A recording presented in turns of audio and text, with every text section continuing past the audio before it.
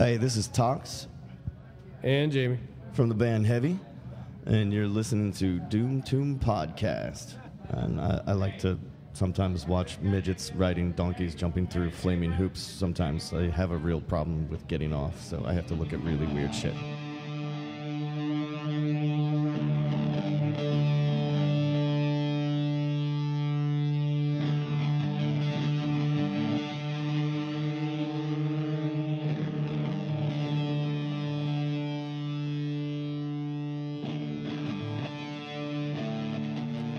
Everyone, and welcome to the Doom Tomb Podcast. My name is Chris. I am your host, and today on the podcast, we have all of the band members from the band Mortales. Mortales is like a has this like stoner vibe with a little bit of punk psychedelic mixed in with it. They're based out of Austin, Texas. And we get into a few things talking about music, what they have currently and what they have coming up. If you need to, hey, pause this for a minute, go on social media and follow them on Facebook. You follow them on Instagram, follow them on Bandcamp so you know when they have new material coming out and if they're going to be playing at a space near you. They know I know they do a lot of stuff over in Texas, but I know they're expanding their realm. So look out for them. They are definitely a band to watch. We get into a lot of things on this podcast, and one of them is cannibalism. And you might want to say, why cannibalism? Well, if you haven't uh, listened to the previous podcast, you might want to do that. and You'll have a clearer idea. Also, we have uh, an- a track coming up later. There was this uh, band that I reached out to, and they were kind enough to reach out back to me, and they are called Owlcrusher. And Owlcrusher is kind of across the pond. They are in Northern Ireland. They're a three piece band. Uh, they formed quite a bit ago, and they have a debut album out. So I'm going to put a link in the show notes, and I'm going to put a track on later so we could check that out. And finally, if you have not checked out Forever Doomed Streetwear, go and check them out. They're a cool bunch of people, and uh, they have a first run of some merch right now, and they're creating their second run now. And I'm sure there's going to be a lot of great ideas as far as um, illustrations and etc. So if you have not gone there yet, check out Forever Doomed Streetwear on Facebook. All right, I think we got all that taken care of and cleared out of the way. Now it's time to get into the interview. This is Mortales.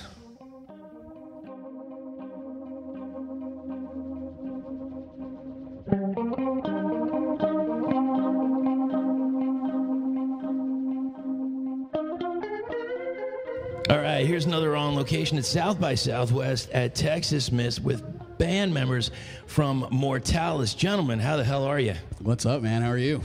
Awesome. Now, could you please go around the horn and introduce yourselves? Uh, sure, yeah. I'm Lucas Intercobs. I'm the singer, rhythm guitarist. I'm uh, Luis and play the bass. I'm Michael. I play lead guitar and rhythm guitar and backup vocals. I'm Brett, and I play drums. Brett, man, I I just saw your set. And I gotta say, it's damn incredible. And man, you're pounding those skins, brother. But the one thing I want to, and I want to go around the horn because I want to talk. Of course, I want to talk a little bit about equipment. You're the um, you're the first person uh, that I've seen lately in this like stoner doom kind of scene Yeah. that plays a Gretsch. Yeah, I've I've kind of noticed that too, and we're kind of uh, we've gotten a couple comments about using Blackstar amps also Right. in this kind of the type of music we're doing. It's kind of funny because I I got all my equipment stolen like five years ago. Right, that's not the funny part, but I got all my equipment stolen, and. Um, you know, I, it basically whatever insurance covered it, and I got to replace all of it with better shit, basically. and um, I, I wanted originally, I was thinking about doing like a garage rock type of like kind of surf rock band. Right, right. So I went to a music shop, local shop, and I just let him know what I was doing. And he suggested aggression. He suggested Blackstar, and I was like, cool. And then I met up with these dudes, and we just come, we went a totally different direction, and it just ended up tonally working out pretty well. You know, while we're on that subject, because it's it's a topic of conversation on pretty much every podcast, can you go around the horn and just tell me a little bit about the equipment you're using and why you chose it?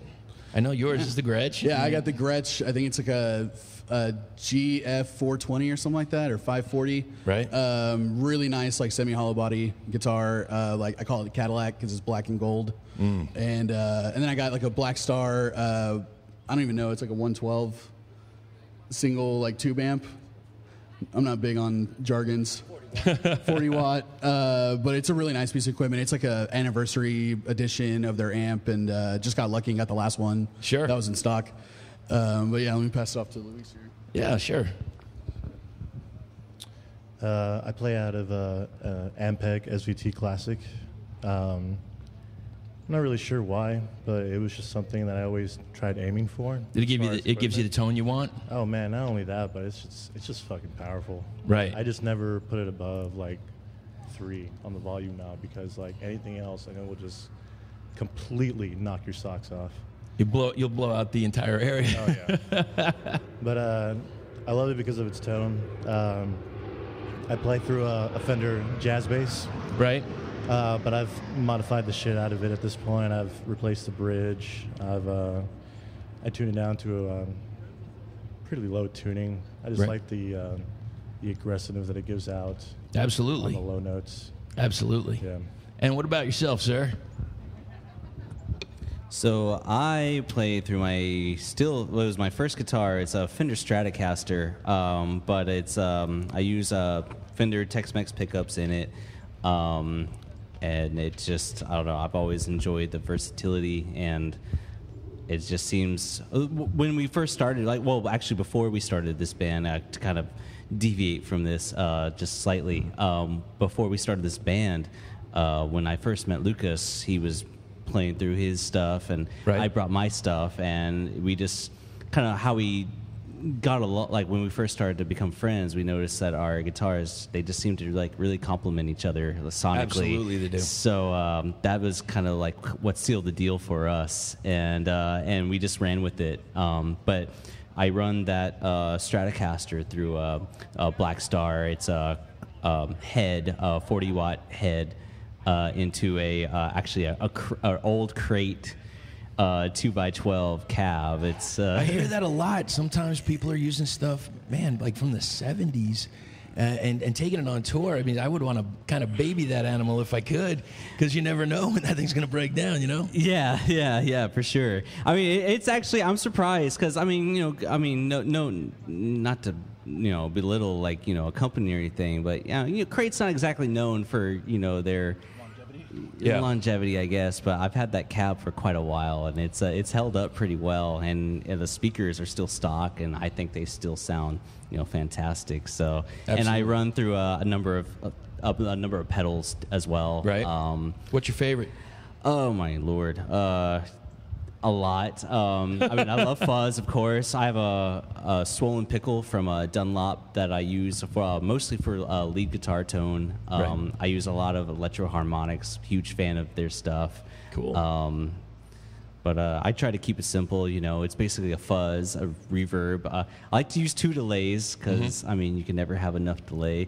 Sometimes when you want to get like super trippy and uh, to you go a little psych. yeah, exactly. Sure. Which is, I guess, part of our background, and uh, yeah. Um, You know, maybe that's a good. Maybe I'll I'll segue into that. Uh, you know, when we can go around again and just, or maybe talk to one of you and just tell me what what you would consider yourselves. What would you classify yourselves as?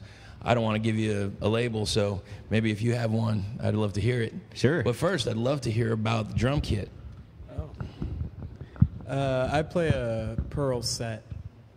I'm not exactly keen on the exact kind. I've never focused on uh, brands or you know certain kinds of gear, but Right. uh, Pearl drums with a variety of Sabian cymbals, Yeah. uh, mostly B8, and I think I have a Zildjian on there. Mm-hmm. Uh, but I it's my second drum set. Okay. I've been playing for about nine or ten years now. Really? Uh, I, and I hate to say this because I'm staring right at you. Nine, ten years, and I, I know you. Yeah. I hope you don't Yeah. take offense, but like, did you start when you were ten? What? I, I get it all. I look like I'm 15 years old, right. uh, but I'm actually 22. Really? Uh, one year past drinking. Outstanding. uh, Are we gonna have some beverages today or what? I uh, we we had one at the uh, High High Sign Brewery a while ago. What'd you grab? Uh, I got a Seamus Irish Red. I, uh, well, it's perfect because hey, tomorrow, man, we got to throw down. We got to have some corned beef and cabbage. Grab a few beers. Tomorrow's the day, Ben. I would love any kind of food right now. I haven't Well- eaten since like nine o'clock. As we have been told, there is a taco truck that will be out later. If you you weren't, you guys weren't here yesterday, right? No. Uh, that taco truck, man, get it before it sells out. They sold out yesterday, and they have some killer stuff. I gotta actually, once they're out there, I gotta promote them uh, when they come back because that stuff was so good. You eat it so damn fast, you can't wait to have some more. Heard. So They had eight tacos. they had what? Eight tacos yesterday, and I was just like, I'm gonna try and beat that today. Well, Set a new record. I tell you, I don't know how their stomachs today, but um, well, man, that stuff was so good yesterday. So, what would you? Um, maybe I'll go to you and uh, pass around if anybody wants to add. What would you classify your music as? Mortales is gnar. Gnar. Gnar, dude. I actually saw you guys. You said that on uh, um, Bandcamp, and I wanted to go over that. Uh, a few of your releases now. Uh, you have a release coming up soon. Yes. Yes, we do. Uh, yeah, it's uh, called uh, Look Alive. Uh, it's coming out. Hopefully, we're we're aiming for April, maybe May, if uh, things get a little delayed. But yeah, man, we finally wrapped up everything. We've been working on it for about I would say a year. Um, you know, lost a drummer halfway through. Got uh, Brett joining the band like for about six months now, and uh, just got yeah, man. Finally wrapped it up, and we're really really excited. So looking forward to it. So for the last three months, we've been trying to build up some anticipation, get some you know get some new honestly get some new content out there, man. Because we've we had a demo that came out maybe a year and a half ago. And we haven't we hadn't released shit since then, and we were just like, man, we're we can't keep writing on the same five songs for a year and a half, and we've been sitting on this stuff for a while, and and uh, so yeah, we were really excited to release it. We released like three extended tracks uh, in the last three months, and and I think it's gonna be like nine tracks total uh, on the album. So um, getting really excited, man. Now, can you um, can you tell me a little bit about either any of the tracks? Maybe like since I don't have the since we don't have the material in front of us, uh, can you tell me a little bit about it? Like, what was uh, what was one of the easiest tracks that uh, like took really no time at all to create? Oh, wow, that is a really good question. Uh, what would you think, Michael? Uh, I feel like psychic violence came together really, really quickly. I mean, that was kind of like a two taker. I feel yeah, like. yeah. We, we kind of got in this groove lately where we're starting to write two songs in one. So we we are having fun playing with going from really fast to really slow, and uh, going back and forth in songs in different styles. So like.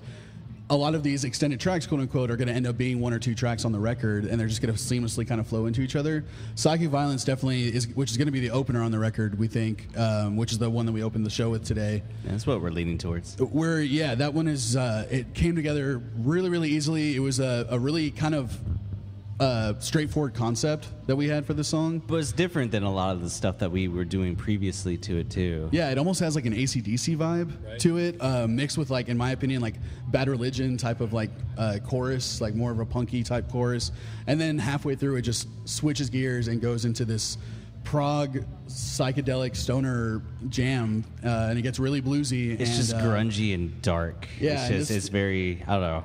Yeah, it's that one that, that was definitely like when we when we wrote that we were just like okay this is um this is definitely where we're headed right so that's that got us really excited And like you said, it's Nar. It's not gnarly, but Nar. oh totally not. So, what track on this upcoming release took the longest time to create? Ooh, that's also really good we actually we had to cut a song from the album that was like a 12 minute fucking masterpiece like an opus like it was our opus for sure and it took us a really long time to get it down we we switched uh timings like time signatures like three four times in Time the song. signatures. We changed keys changed halfway keys. through it. I mean, you name you name any kind of like deviation from the norm you can think of. we Yeah. did it, and musical masturbation in other words we Yeah. just, we could we didn't know when to stop um, so it took us a long time to record it we were never really happy with the recording and then we kind of came back around to it maybe like six months later and we were just like you know what this is a big chunk of the record but like i feel like you know we all kind of felt that it was it, it didn't work anymore so uh, surprisingly after that we ended up writing another 10 minute song which is what we closed tonight the, the, the show with today oh, with the uh, round up the devils. Round Up the Devils, which Yeah. is uh, another one that kind of came together really easily. It's a riff that I've been sitting on for a year. and then we we just got the right people together in the same room, and it came together. Right. So, do you think that uh, you'll ever maybe put that other track out as maybe a single or something? Or I think we'll probably end up uh, ultimately just cannibalizing it, and maybe you'll find certain parts of it in other songs in the future somewhere. Uh, there was some really, really cool stuff, but altogether it was a little bit too bloated, a little too self-important. I feel like I don't know. Yeah, no, that, that sounds about right. Yeah. that sounds about right. Go ahead. I, I personally have only heard the instrumental version of that song like once in the studio. Right. Uh, so I haven't heard the main core of it, uh, but that just you know gives us a fresh ear to start on it again if we ever decide to extract some of the riffs from it. Sure. Like you know, you talk like these are other bands maybe outside of the genre, but you talk about like the Beatles. They had I forgot what, what um, I'm, I'm blanking on the song, but there's a song. It was actually three different songs, and they took the three different parts of it and put it in together into one song. Same with uh, Billy Joel. Billy Joel did it with uh, scenes from an Italian restaurant years ago, where it's like he had this piece, he had this piece, and they, it wasn't all complete. Just jammed it all together and created this, you know, this fantastic song. Uh, just on a kind of a side note, but related, um, I'm, I've been listening to a, a lot of Cypress Hill lately and like a lot of 90s hip hop. And so I've been watching like a lot of videos about like the behind the stories of some of these songs. And I don't know if you know the song How I Could Just Kill a Man by Cypress Hill, right? Huge hit. And something I just don't understand. and one of the like one of the songs that got me into hip hop, right? And I was probably like eight years old. And uh, so I learned the other day, similar story. It was three different songs, two two different beats that they end up slapping together, and three different like choruses and verses that they end up slapping together. And all of a sudden, it hit, it's a hit. Uh, now, are you are you a big follower of uh, of all hip hop, or just you you sticking with the '90s?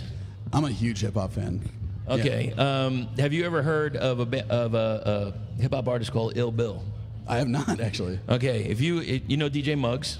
DJ, yeah, DJ Okay. Muggs. So if you, Hill. if you get a chance, Ill Bill and DJ Muggs did a release called Kill Devil Hills. Uh, It's got to be one of my favorite hip hop albums of all time, and uh, you got to check it out because Definitely you know you hear some of this this current rap and it's what they call it mumble mumble rap right now, Yeah, I where it's almost like that. they're using the vocal as a kind of instrument, but you know even in listening to some of the interviews with people, they're they're saying like I don't even know the lyrics, like I'm just mumbling it and right. It's like um, as long as it's catchy, people will like it. yeah, and then you know somebody like uh, like this uh, Kill Devil Hills album, like the first song right off the bat, they're talking about conspiracy theories and all kinds of other weirdness, and you're just like, this is so unbelievably refreshing. Over just hearing, I don't need to hear about sipping syrup every every song. Right. I don't need to hear about the rest of the junk. And uh, after a while, it gets kind of tiresome. Like, what else do you have? What else can you go to? Absolutely. I mean, I kind of, you know, feel the same way a little bit about the genre that we might potentially be trying to put ourselves in, which is like stoner rock, doom rock, and everything, where it's just like it is hard to find bands that really stand out in those genres. And um, and I think that's that's something that like I really enjoy the music that that we play because I feel like from our varied backgrounds, like I come from. I used to play in a reggae band. I used to be in a band that like I played banjo in it, and I used to be in like a folk band and everything. And then coming from like going from listening to a ton of reggae and ska and, and, and then punk music in high school and then going into metal and all of a sudden like meeting these guys and they're the ones that introduced me to Maiden and all these you know all these Windhand and all these new bands that I'm listening to now Right.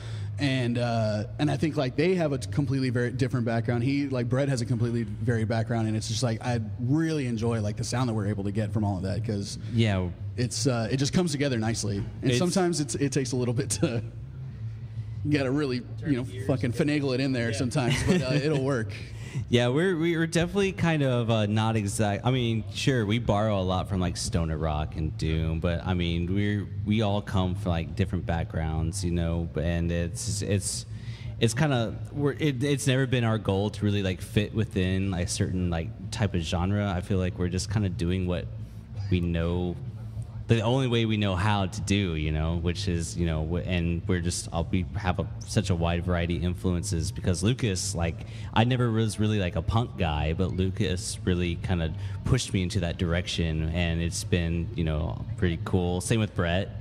Uh, he's uh, kind of turned me on to a lot of like more that direction. Um, and me and Luis over here, our bass player, he's uh, you know we grew up together and we come from a you know more of like a metal um, kind of weird weird like outsider like kind of like background I guess And that's Um, what's uh, that's what's helped in our as far as like keeping it varied is our writing process. I feel uh, usually someone will come in with one idea for a song, and like uh, I, what song was it that we were working on for a while there? We kind of we were kind of like stuck on it, and then uh, just so happened that one of us went on you know vacation for an extended weekend or something, and Yeah, that was round up. We it was round up the devils yeah that was sick. yeah so Actually, the, go to practice and then Yeah. ended up writing all the parts that we were missing. Yeah, so Round Up the Devils, that was the one. That, it's a pretty, you know, about ten minute long song, but Yeah, yeah, that I- was I uh, we were that, stuck on uh, it for the longest time, and then yeah, it just sort of you know Lucas went away for a while, and then we was just like, oh, go work on the song, and then we did. yeah, I feel like the just the the inherent process itself forces us to make it varied just enough to where like makes it interesting at the, at the end, you know. Now, you were saying that uh, you had, or you, you were saying uh, uh, you had some different influences. What are what are some of your influences that you bring to the table? Uh, I'm more of an kind of alt alternative rock guy. I was I was raised very white. Uh, uh, a lot of the mainstream stuff, you know, and a lot of the Blink 182, all that kind of stuff. Eventually, that evolved into more progressive. I love the Mars Volta. I love Rush, uh, but also keeping it the Hives, uh, Minor Threat, punk. And these guys are actually really my first experience into the kind of psychedelic stoner kind of stuff. Uh, the most I've ever gotten into that was, you know, some Fly Golden Eagle stuff maybe. Uh, but it's it's been a very cool experience, and I've learned uh, a lot about being in that, that kind of band. It's it's a, it's a very different feel. It's it's very fresh every time we uh, do something new. Well, it's I, every, as I'm going around and looking at you guys, you all have smiles on your face. Like you seem like you're really enjoying the scene and um, enjoying what you're doing on stage. If I can, I just got- I have to go to a cheesy question for just a minute. Um, how'd you get the band name? I I would like to know that too. All right, who's got who's got the story? Because I can tell a version of it. Then You could go- I'm going to be angry. You can go ahead, or do you do you have do you have the story, or is the other story? I, I- I can start it out. I Okay. mean, we used to be called De los Muertos. What was it? De los Muertos. Okay. like Dia de los Muertos? Yes. Uh, of the dead. Yep. And uh, it just so happened that, you know, we were Google searching just to make sure before we finalized with everything as far as the name of the band and all that. Then nobody had it. And nobody had it. Right. And it turns out that uh, a band in San Antonio that hasn't been together in what, like eight years or something like that, played a show since 2010, I think. they reunited that weekend apparently. No. And, Jesus. uh, you know, we just we felt like we had to play it safe, like we had to get something else instead. So you came up with Mortales. Yeah. Well, actually, we didn't we didn't come up with that. Um, we were having a lot of trouble coming up like with names that haven't been taken, man, because everything's taken. That's why we were so psyched about De los Muertos. Um, so whenever we were trying to think of names, we were thinking of like famous monsters, and that's taken, and we thought of like some other uh, cro- Chromonaut and all these other stuff, and we nothing really felt right. Yeah. And uh, and we all uh, all of us except Brett, obviously, uh, we're all we all come from Hispanic uh, backgrounds. So like Luis, you know, was born in South America. My parents are Dominican. Michael has like a Mexican background, right? Uh, I mean, we're we're Texan, you know. Dude, yeah, but, but- you know, we're we've been, we've been here a long time. Oh yeah, a Yeah. a little Tex-Mex over there. He's a little queso. Um, but uh, so what you're saying is he's a little cheesy. he's a little cheesy. He's a little cheese balls. That's what makes it so good. But we wanted to stick with the, the Latin thing. We wanted to, to kind of represent, you know, our, our cultural uh, background. And so I started reaching out to my family, and I was just like, hey, mom, hey, dad, like, try and come up with some cool names. And my parents were just texting me constantly all day, every day. And then my mom came up with uh, Ritmo Mortalis Band. And I was like, well, we're not a merengue band, so we're not going to be called that. But I told these guys as a joke, and we were just like, well, Mortales. And we're just like, hmm. And we kind of sat on it for a little bit, and we're just like, it is kind of in the same vein of the dead, mortal, mortalis. Is all we're all gonna fucking die, mortality, basically, is the- but the also being like dangerous. yeah, like, you know. mortalis. You know, Yeah. Uh, so yeah, that's it was that's we settled on that, and uh, and it's definitely like it's it's taken the place of De Los Muertos now. Finally, it took a long time for De Los Muertos to wear off. And as the uh, resident white man in the band, what do you Hello, think? that's uh, that's me, Brett Hanrahan. How do you feel about uh, that name? You enjoying it? Uh, I thought it was very cool. Mortales. It's you know it's pretty easy to Just get the translation. Yep. So I wasn't too confused, uh, but it was very cool. I was very excited to be more of a you know kind of Mexican influenced group, even if it doesn't come across the music, uh, you know, as much as it would if you had a Spanish name. Sure, sure.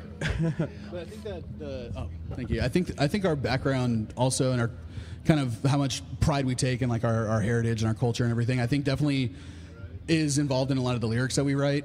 I think like we definitely come from a, a unique perspective um, in that sense. Is you know coming from parents of immigrants and well, Michael's been ingrained here for a while, but um, you know Luis is, is first generation. I'm second generation. I think. Uh, and you know the the the struggles and the, and and what makes life interesting and being that type of coming with that type of background, I think definitely um, is reflected in a lot of those things that we write. So, uh, in getting with that, with the lyrics, uh, what are the majority of the songs? What the, what's the lyrical subject matter? Who's the who's a major lyric writer? I guess that would that would be me. Okay. Um, definitely, it's it's definitely a group effort. A lot of the times, um, there's everyone has input, but yeah, I would say I, I come to the table with try and have a, a whole song together, and then Right. you know, and I go like, do you guys like this or not? And then we we kind of play with it. But um, you know, there's been there's been a lot happening, man, in the last couple of years, and in not just in our country, but all over the world. And I think. Again, coming from my background of being in a punk band in high school and, and really during the George Bush eras where, you know, everyone our age was just like very political and Yeah. very involved and And still now. feeling like I haven't been since then, Okay. and realizing that it's it's almost mandatory to be that way now, um, and and all the pressures that come with that, and I think uh, we're that's that's where a lot of my a lot of my material comes from, just like the confusion of everything that's happening right now, trying to make sense of it all, and, and really trying to make. Um, what I see a lot of our songs is like a call to action. It's Okay. really calling, trying to call things out and trying to call people to, to do something about it. And that's a perfect segue into some of the material that you already have on Bandcamp before the next release. If I could go over that and we could talk a little bit about the tracks. Yeah, that'd be great. So we have uh, psychic violence. Nothing good happens after midnight. Now, before you before you tell me, it's like my mom used to tell me that, but she she was a little later. She said nothing good happens after 2 a.m. So okay. okay, can you tell me a little bit about that track and what that means? And I know you're going to say something. Does anybody else have anything to add to it?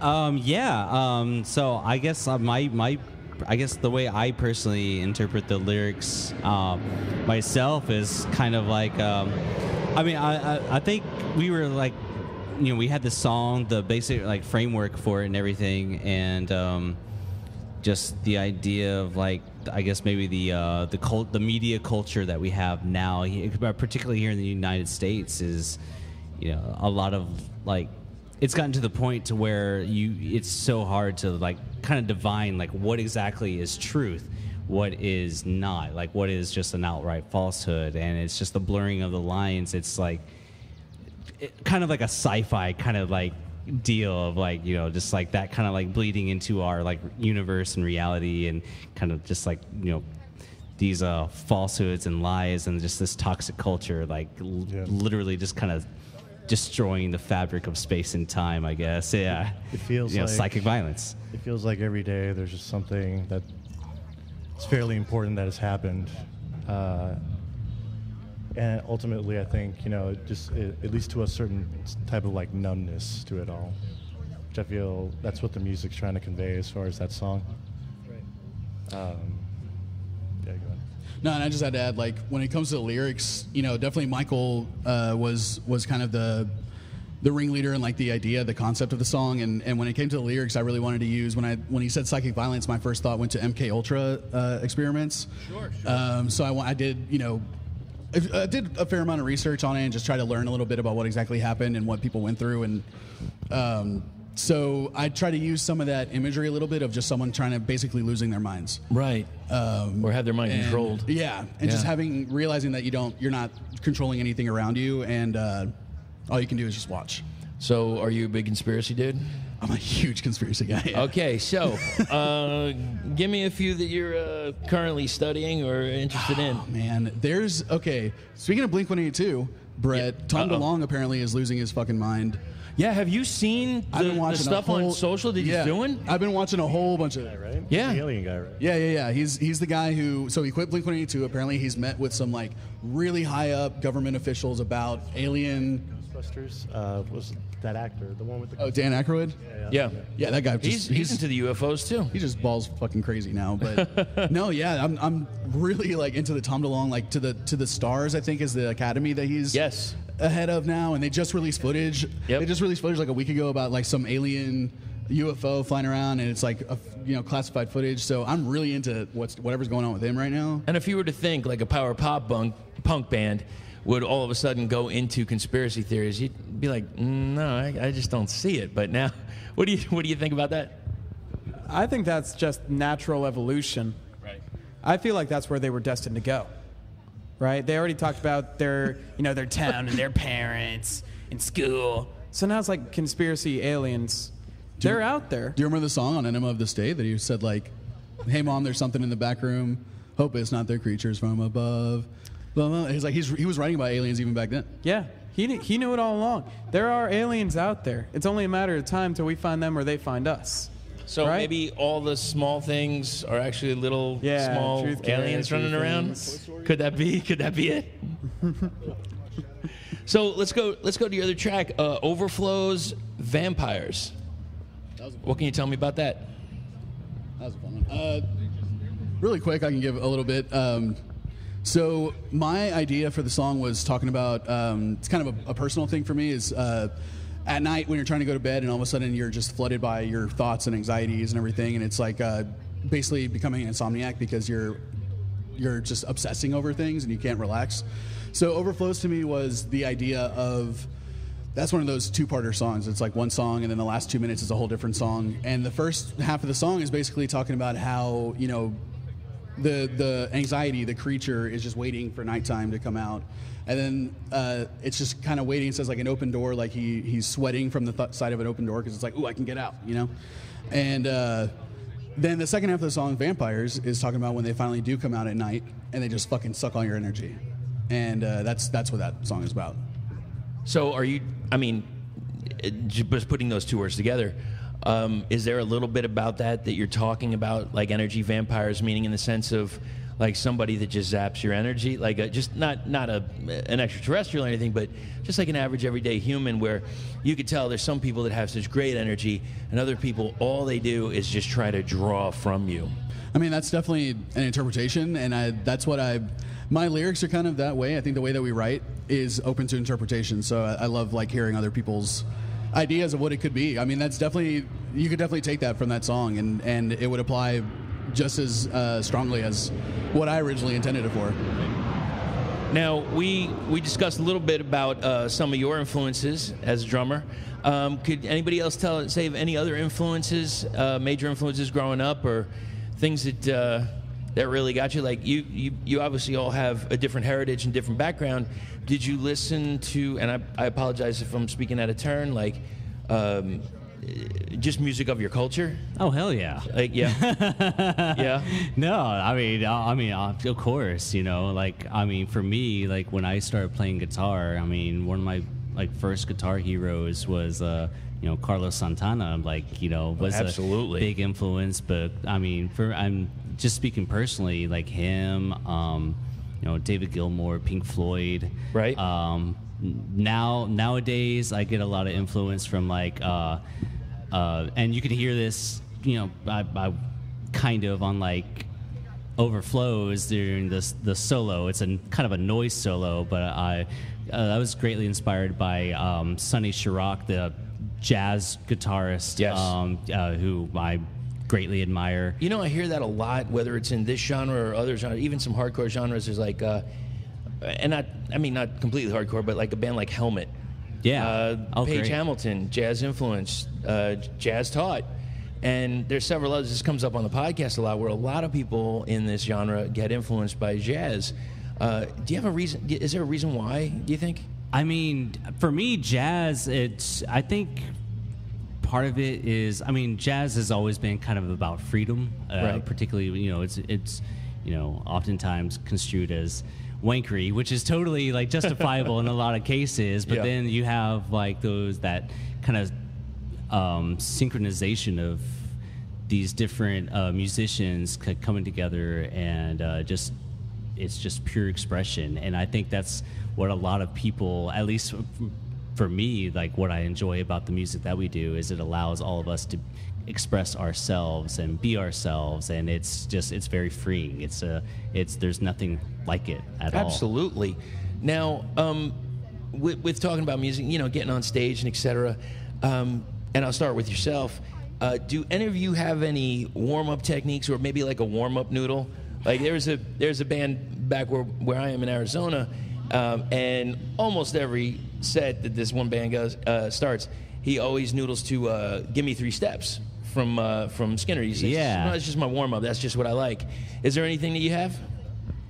N- me personally not really i just kind of just go for it really uh, Right. what about you, you lewis Um, just to kind of like loosen up the fingers because I do play with my hands. Yeah. Um, I just tap it on my knee or my thigh. Mm-hmm. So just kind of like build it up, go faster, faster, slow it down a little bit.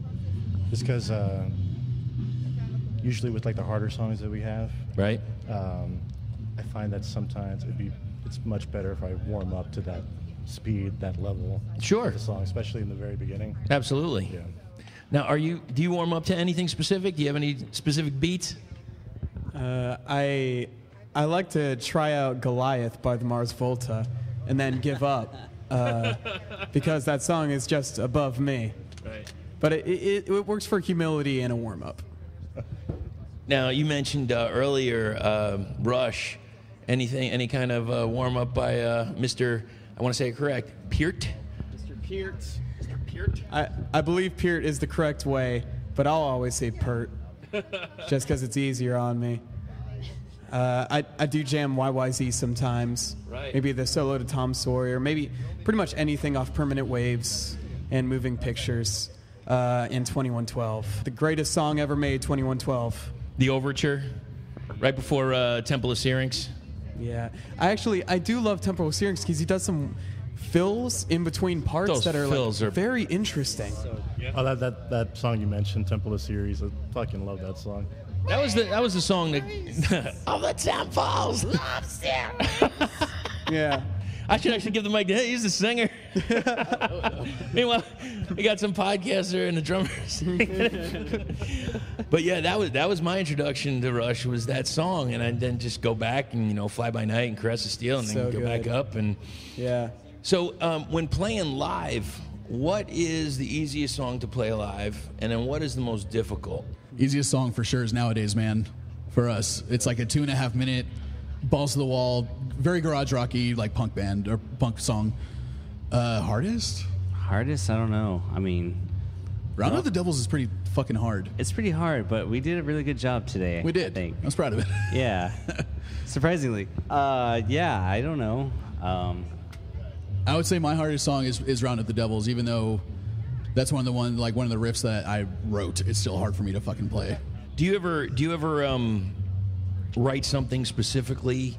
Like I've, I've heard interviews with Jack White, and he says sometimes I try to do the most difficult, and, and where my hands are spread apart the farthest, and I have to reach the furthest, so I can feel it more. Is that something that you've ever done, or are you just like, no, I just rather be in the pocket, or I definitely have done that myself, but um, not on recording. Uh, at, at least not yet. Uh, but yeah, definitely. I mean, I've how I've you gotten grow. s- I've gotten so much better playing with these guys, and I did write a riff before we even got together that I physically couldn't write. I wasn't I wasn't good enough to play it yet, but I wrote it in my head.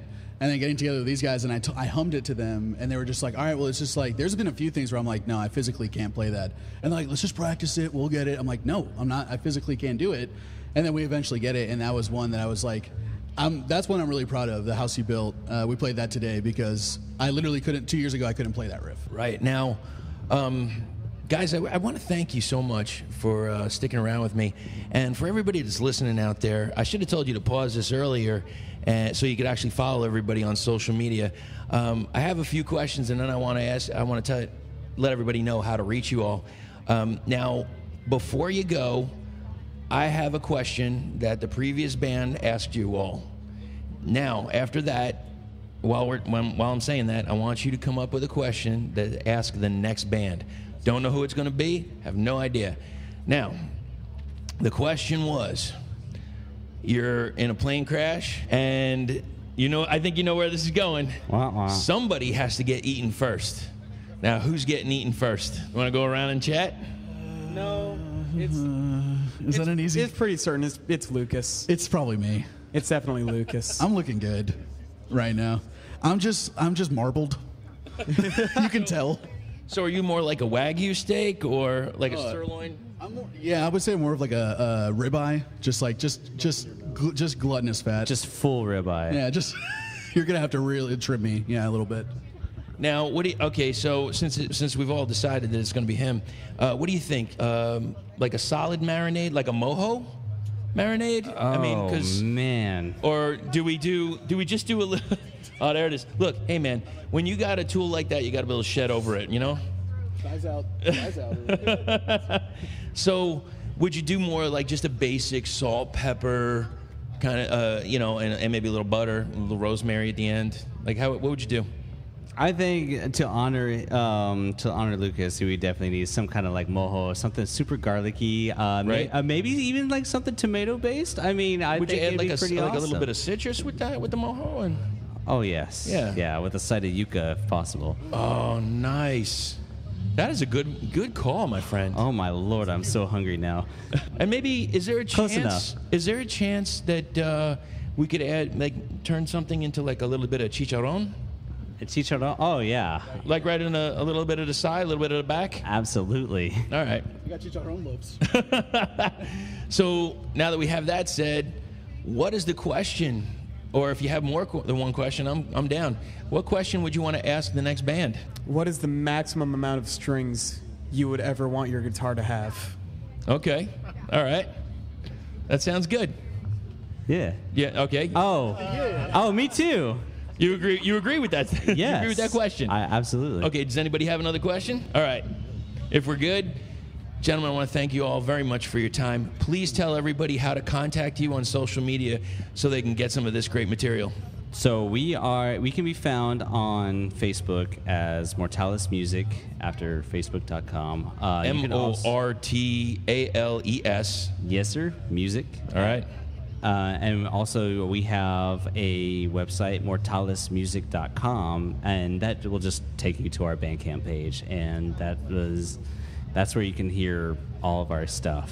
Hear your stuff and buy your merch and get down with some Mortales. Yep, exactly. All right, guys, thank you so much for your time. Enjoy the rest of the day. Let's have a few beers, all right? Indeed. Thank you. Take care.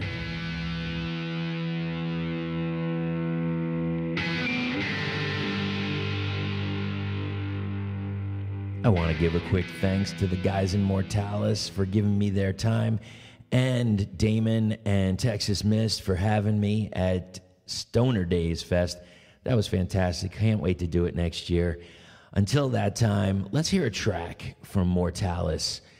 Now, I know um, my mom used to tell me that nothing good happens after 2 a.m., but this seems to be uh, an, a, like a paradigm shift or something because the name of this track is called Psychic Violence. Nothing good happens after midnight.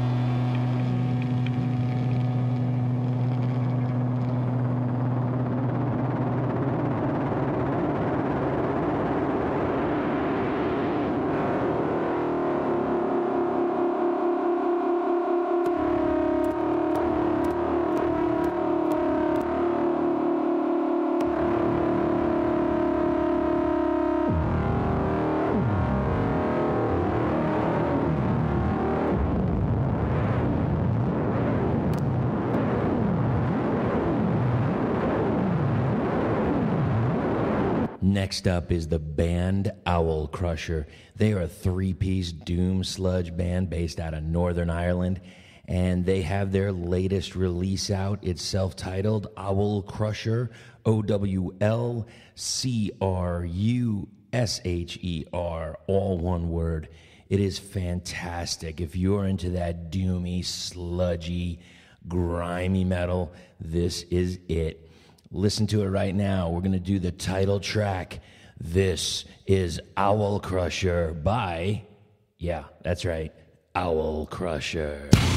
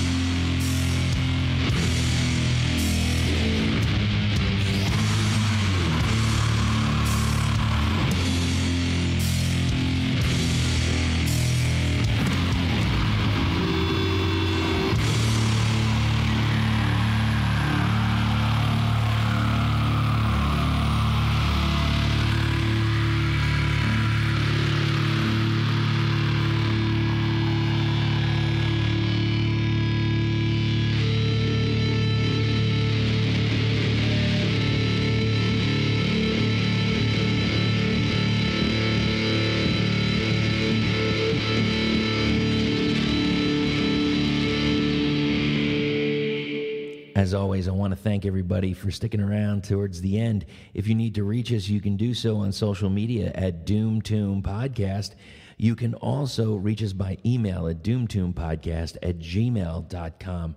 And if you get a chance, if you could swing over to iTunes, give us a rating, give us a review, that would be awesome. I'd really appreciate it. Five stars would be amazing. I'd really like that.